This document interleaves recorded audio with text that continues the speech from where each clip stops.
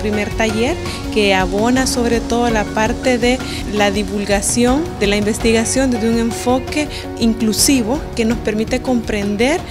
qué estamos generando y por qué es importante estos temas que se están desarrollando en el seno de la academia. Este primer taller está dirigido a investigadores de la universidad de ambos campus, San Miguel y Usulután, más o menos 18 personas en diferentes especialidades. También vamos a tener o vamos a contar con la participación de medios de comunicación para interesarlos y motivarlos y cómo abordar estos temas científicos que son, tan, son de mucho interés para la, para la comunidad y muchas veces no estamos como en la sintonía más adecuada. Eh, soy maestra en comunicación de la ciencia, trabajo como jefa de extensión académica en el Centro Peninsular en Humanidades y Ciencias Sociales de la UNAM y durante muchos años me he dedicado al ramo de la comunicación de la ciencia y del fomento a las vocaciones científicas en niños y jóvenes. Este curso de divulgación y comunicación de la ciencia lo hicimos con eh, los profesores e investigadores de la Universidad Gerardo Barrios con la intención de que mejoren esta parte del proceso de comunicación y den a conocer y haya mayor visibilidad tanto de sus investigaciones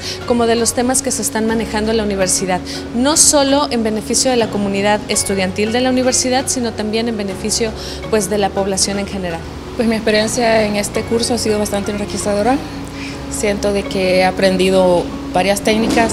que vamos a aplicar a todos los compañeros en la divulgación de nuestros artículos científicos, en la investigación que realizamos desde la UGB. Bueno, realmente es un taller muy bonito que hemos tenido el día de hoy por parte de la Universidad Gerardo Barrios para todos los comunicadores de la zona oriental que viene a reforzar realmente pues los conocimientos y también pues a utilizar diferentes técnicas que nos benefician pues en el quehacer diario que realizamos. Claro, realmente hay muchos temas que nosotros como medio de comunicación podemos tocar para ayudar a la población a conocer. Ha sido una experiencia muy positiva positiva y muy dinamizadora, ha reforzado algunos conocimientos que teníamos y ha explicado algunas formas diferentes de hacer artículos científicos, hacerlos un poco más accesibles a la población, dinamizar la forma de comunicación, las, de comunicar la ciencia para las personas, lo cual ha sido de una manera muy agradable. Estamos desarrollando esta parte de, de formación que tiene que ver con la divulgación científica en diferentes sectores, pero también vamos a, estamos trabajando en la formación de divulgación, pero con pares a través de postres, otros elementos, así que también vamos a estar desarrollando a partir del mes julio seminarios abiertos para nuestra comunidad estudiantil que también van a tener otro formato. Sí, esperamos pues que siga siempre este contacto, esta comunicación, el acercamiento de la universidad, ¿verdad?, con los medios de comunicación y en este caso pues con los comunicadores del Oriente.